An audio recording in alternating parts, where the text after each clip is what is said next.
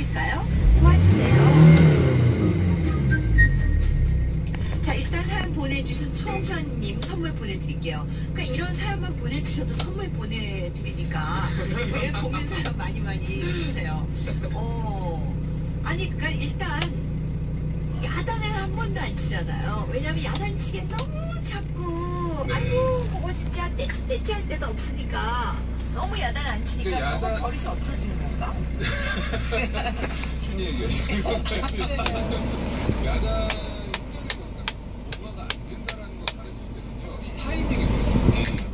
그러니까 즉각적으로 해주시는 게 제일 좋고요. 네. 시간이 지나서 아무리 가서 아무리 너 이거 잘못했지 막 보여주면서 막 혼내시는 분들이 너 계세요. 아까 그때 뭐 네. 나 쳤대 이거. 그거는 아무 소용이 없다라는 거를 예, 아시면 예. 좋을 것 같습니다. 네. 근데 이제 이렇게 이제 뭐 가방 뒤진 애들 있어요. 예. 저 같은 경우도 이제 뭐 코브엘 부탁해 같은 거 있죠. 촬영할 때 가방 들고 가면 고양이 들어와서 그렇게 냄새 맡고 있거든요. 제 가방. 어, 예, 예. 근데 그런 후각적으로 냄새 맡는 거를 어떤 이제 성향 차이가 있는데 음. 네오필리아라고 해서 새로운 것들을 좋아하는 강아지 고양이들이 있어요. 음. 유난히 음. 반대로 새로운 걸 무서워하는 애들이 있어요. 어, 그러니까 새로운 가방이 오거나 뭐 새로운 물건이 도망가는 애들이 있고 그거 와서 무조건 냄새 맡고 막 뒤지는 애들이 있거든요. 그러니까 이 친구 같은 경우는 그 새로운 새로운 걸걸 좋아하는 타입이기 때문에 아. 장난감을 되도록이면 자주 교체하면서 새로운 자극을 계속 주시는 게 도움이 되지 않을까 싶어요.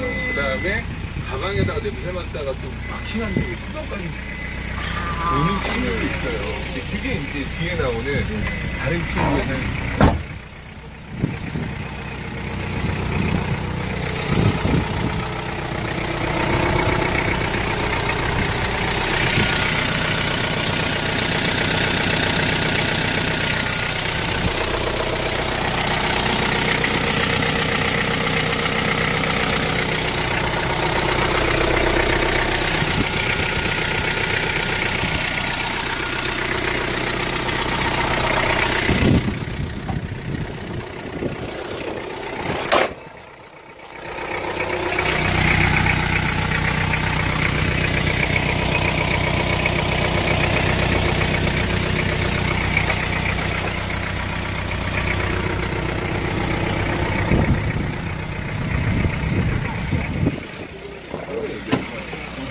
손으로 강아지나 고양이한테 말- 말을 하는 거죠. 네. 강아지는 잘한다, 잘한다, 잘한다. 이거 응원해 주는 거기 때문에.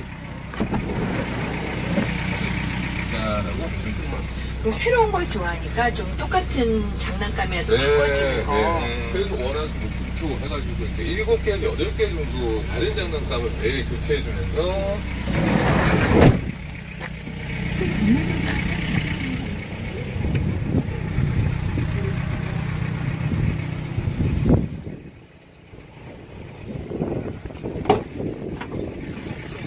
새롭게 오는 것도 많잖아요. 네네. 장난감 저렇게 많은데 왜 필요한가? 네. 새로운 걸 좀. 네. 그